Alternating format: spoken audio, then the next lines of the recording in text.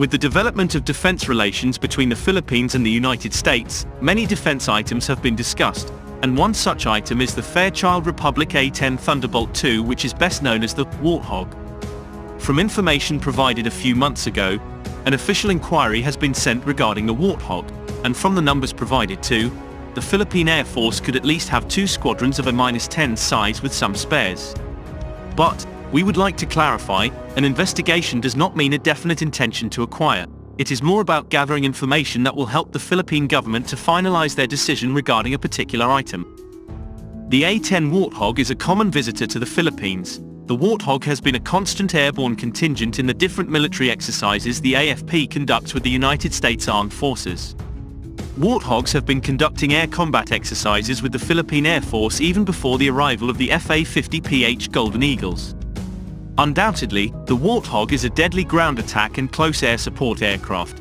Its weapon alone, the GAU Avenger 30mm rotary cannon is a threat to any ground and armor units one will encounter in the field.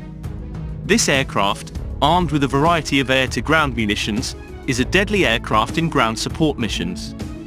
The A-10 is a threatening aircraft in its intended role for ground support missions if there is total air superiority in the area in which it will operate. These aircraft while able to take damage are at the mercy of any multi-role fighters it will encounter, or advanced anti-air units stationed by opposing forces. With this we believe, despite the investigation regarding the A-10s, the Philippine government will still pursue acquiring more A-29 Super Tucanos which essentially perform the same mission as the A-10 Warthog for close air support attacks. The A-29 Super Tucano, although a prop-driven aircraft can also deploy a variety of guided and unguided munitions and is a proven aircraft for the Philippine Air Force. There is also the possibility that the A-29 will be certified to deploy light cruise missiles such as the Seabreaker, which is being developed by Rafael. An aircraft with long-range anti-ship capabilities is what the Philippine Air Force needs in its arsenal. Another factor is the logistics footprint. Introducing another type of aircraft into Philippine Air Force service means another layer of spare parts, ammunition, maintenance, and manpower requirements. The Philippine Air Force is already familiar with Super Tucanos, they just need more of them and if discussions with the United States government are fruitful, the Philippine Air Force may receive three A-29 Super Tucano Sierra Nevada.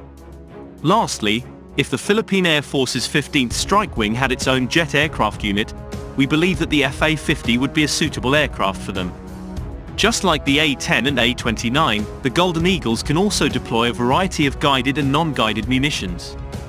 With continued development from KAI, the FA-50 could also soon be armed with long-range air-to-ground munitions such as the Seabreaker, Joint Strike Missile, air-launched variant of the Naval Strike Anti-Ship Missile, and the KEPD 350K2 mission. The FA-50 can provide close air support that can also have a combat stance against opposing air units due to its speed and can still maneuver aircraft like the A-10. And we wouldn't be surprised if the Golden Eagles would find their way into the 15th Strike Wing. Having a close air support aircraft like A-10 Thunderbolt that a respective country has is something a fanboy is imagining about, only considering its sheer firepower and setting aside other technical areas which are important as well. A-10 Thunderbolt, also known as the Warthog, is a US close air support aircraft which is a jet-powered, versatile aircraft with GAU-8 Avenger Gatling gun as its main weapon, also used in Goalkeeper CIWS, alongside air-to-surface missiles like AGM-65 Maverick missiles. The A-10 has a cantilever low-wing monoplane wing with a wide chord. It has superior maneuverability at low speeds and altitude due to its large wing area, high wing aspect ratio, and large ailerons. The wing also allows short takeoffs and landings, permitting operations from austere forward airfields near front lines. The A-10 can loiter for extended periods and operate under 1,000 foot 300 meters ceilings with 1.5 mile 2.4 kilometers visibility.